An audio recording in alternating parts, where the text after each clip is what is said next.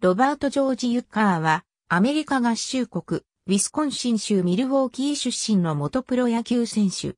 メジャーリーグベースボールの中継実況アナウンサー。宇藤右打ち。プロ野球選手を引退後は、ミルウォーキーブルワーズの専属アナウンサーとして、試合中継を長年担当している。ニックネームは、ミスターベースボール。1956年に地元のミルウォーキーブレーブスと契約してプロ入り。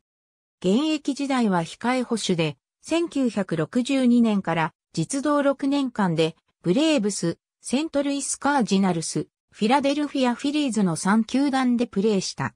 引退後は1971年よりミルウォーキーブルワーズの球団専属実況アナウンサーとなった。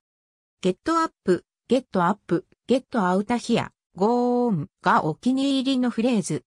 ブルワーズの本拠地アメリカンファミリーフィールドで、ブルワーズの選手が本塁打を打つと、左翼スタンド後方に設置されている、このフレーズの文字が点灯する。また、映画、メジャーリーグシリーズに出演していることで、日本でも知られている。2003年には、野球放送における殿堂入りにあたる、フォードシーフリック賞を受賞した。さらに野球だけでなく、2010年には WWE の殿堂入りを果たしている。ありがとうございます。